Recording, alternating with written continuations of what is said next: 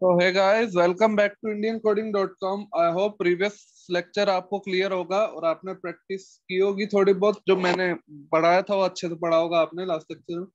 तो आज मैं बताने जा रहा हूँ पीएचपी के लिए हमें क्या ही करना पड़ेगा इंस्टॉलेशन के लिए हमें क्या क्या चाहिए होगा पीएचपी के लिए। सबसे पहले हमें चाहिए होगा सबलाइम टेक्स्ट एडिटर जो कि हम पिछले कुछ कोर्सेज से आप अगर ने आपने किए हैं तो कोर्सेज तो आपको पता होगा सबलाइम टेक्स्ट एडिटर क्या होता है। सबलाइम टेक्स्ट एडिटर आप गूगल से डाउनलोड कर सकते हैं। और दूसरा हमें क्या चाहिए होगा? That is XAMPP server XAMPP कैसे डाउनलोड करना मैं आपको दिखा देता हूँ। जैम लिखेंगे जैम डाउनलोड लिखेंगे क्या लिखेंगे? XAMPP download then first link पे क्लिक करेंगे। देन डाउनलोड कर लेंगे ये वाला। डाउनलोड 64 बिट मैंने एक्चुअली कर रखा है डाउनलोड बट आप सबके लिए मैं वापस दिखा रहा हूँ कि कैसे डाउनलोड करना है। तो ये अभी डाउनलोड हो रहा है, जब पूरा हो जाएगा डाउनलोड तब मैं देख दिखाता हूँ आपको। बताना चाहूँगा, मेरा जैम डाउनलोड हो चुका है। मैं डाउनलोड में जाऊँगा कंट्रोल जे दबा के। ये देखिए जैम खोलूँगा ओपन इन फोल्डर और इस पर क्लिक करूँगा तो ये ऐसे इंस्टॉल करने के लिए कहेगा यस कर देना है। यस करके थोड़ा लोडिंग होगा देन इंस्टॉल हो जाएगा। ये देखिए, अभी लोडिंग हुआ है, मेरा खत्म हुआ है। जैम्प एक ओपन सोर्स है, आपको बताना चाहूँगा, आप किसी भी सॉफ्टवेयर में, किसी भी ऑपरेटिंग सिस्टम में इसको इंस्टॉल कर सकते हैं। देखिए, ऐसे आ जाएगा। फिर आगे मैं डेस्कटॉप पे चला जाता हूँ। ये देखिए जैम मैंने ऑलरेडी इंस्टॉल कर रखा है तो मेरे को वो कुछ पूछ रहा है। आपको कुछ, ये देखिए नेक्स्ट करेंगे। नेक्स्ट करते जाएँगे।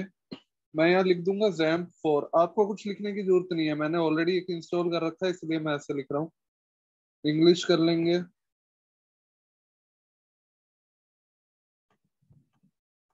इसको अनचेक कर देंगे। हमें लर्न नहीं करना कुछ। नेक्स्ट करते जाएँगे। देन ये इंस्टॉल हो जाएगा अपने आप। कोई ऐसी दिक्कत वाली बात नहीं होगी। तो ये देख सकते हैं कि मेरा इंस्टॉल हो गया है। बस फिनिश पे क्लिक करना है और do you want to start control panel now पे क्लिक कर देंगे टिक कर देंगे। तो इससे क्या होगा? कंट्रोल पैनल शुरू शुरू हो जाएगा हमारा।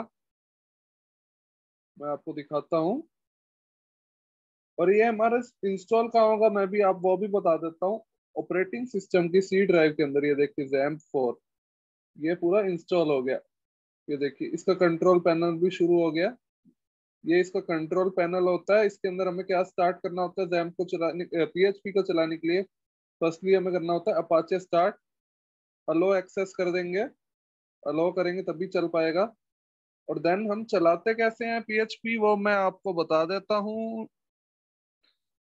हम जब इसको स्टार्ट करते हैं तो हमें क्या करना होता है कि एडमिन पे एडमिन पे क्लिक करेंगे, एडमिन। तो ये ब्राउज़र में खुल जाएगा लोकल होस्ट डैशबोर्ड अब हमें कोई भी पीएचपी फ़ाइल चलानी हो तो हमें लिखना है लोकल होस्ट और यहाँ पे हमें वो फ़ाइल का नेम लिखना है, फ़ाइल का name index dot P H P मान लीजिए। Local host slash index dot P P अभी मैंने फ़ाइल स्टोर नहीं किया इसलिए चल नहीं रही है बट आपको बता दूँ फ़ाइल स्टोर का करनी है। जो हमने जैम सेव किया जैम ये जैम मैंने जैम फोर के नाम से किया था, आप तो जैम के नाम से ही कर सकते हैं।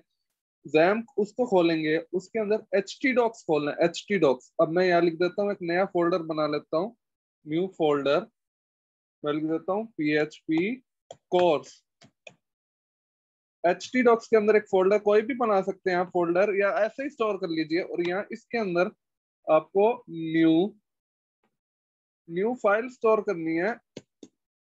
और टेक्स्ट डॉक्यूमेंट नहीं करना न्यू फ़ाइल स्टोर करनी है। मैं इसको डिलीट कर दूँगा। तो वापिस मैं सबलाइन टेक्स्ट एडिटर में जाऊँगा, जो मैंने लास्ट लेक्चर में फ़ाइल सेव कर, बनाई थी। तो मैं इसको कंट्रोल शिफ्ट एस दबाऊँगा। और अब मैं जाऊँगा, कहा जाऊँगा? ओएस में जाऊँगा। ऑपरेटिंग सिस्टम में जाना है। देन जैम फोर पे। देन एच टी डॉक्स में जाना है। Then P H P course और यहाँ सेव कर देंगे इसको index dot P H P वहाँ index dot P H P अब सेव हो गई है, देख सकते हैं। अब इसको रन करने के लिए हमें क्या करना होगा? मैंने आपको बताया localhost slash slash localhost slash localhost slash हमें पहले वो वो फोल्डर का नाम लिखना होगा। फोल्डर का नाम हमने लिखा था P H P course then slash index dot P H P